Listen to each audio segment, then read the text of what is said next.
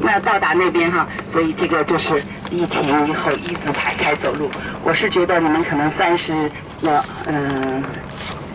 尽量要求吧，他会要求分成几组，那么尽量要求你就跟他叔叔就跟他说我要参加英文组，他说英文组还是西文组，那这样子我要参加英文组，最好我们这个是一组，那所以这样子呢也一起走这个冰川，那所以在冰上践行真正准备工作是比较多的，冰上可能走的也就是一个小时一个多小时的这个走个安全路线哈，啊有高有低，所以它有。景点的地方，安全的地方，他让你们拍，停下来，这样这个时候呢，再拿出相机来拍。拍好之后，相机、手机收好了之后，再一直一个一个的跟着，再安全再走路啊，这样子来，那就比较的安全。那呃，基本上呢，呃，走完之后呢，脱钉脚鞋的时候呢，就不用他们专业的了，您就自己脱。脱好了之后呢，两只要扣到一起。用那个带子绑起来，因为这两只呢大小一般，它是根据你的脚的大小，它给你找适合的号码给你穿的。你脱下来的时候呢，要两只用带子绑起来，这两只放一起，给它放在那边就可以了。在之后沿着它标志的那种那个树林栈道走回到这个小木屋。那个时候他会告诉你们几你们是几点钟的船过来接你们哈，到时候呢到那个时间的时候，再在下船的地方等船再回来，这个就是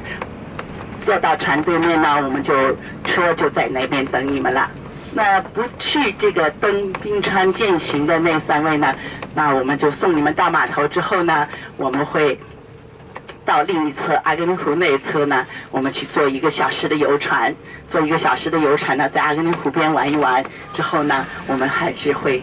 按时间回到你们这个呃下船的码头那边接你们。之后我们一会合，一起再开往这个冰川这个践行的这种呃，就是不用钉脚鞋的那个专用的这个观景栈道。观景栈道呢，那个就是在亚寒带花草树木中间呢，看整个冰川从后面往前面推挤的这种气势，整个的气势在那个观景还可以看得到啊。所以你们走，你们走南边，我们走北边，之后呢，我们都到中间，这这样子来啊。嗯。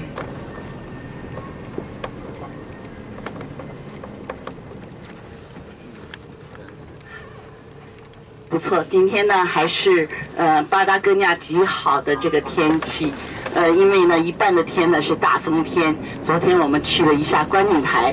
风都不是特别的强硬，所以今天还算是风和日丽的好天气了哈，百里挑一了。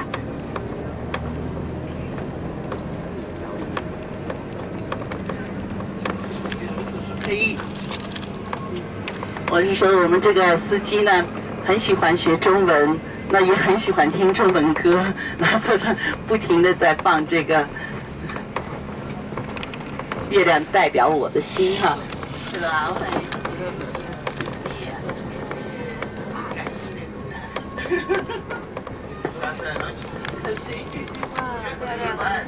我说，我说，等这个太月亮出来的。时候，你再放这首歌。现在太阳已经出来了。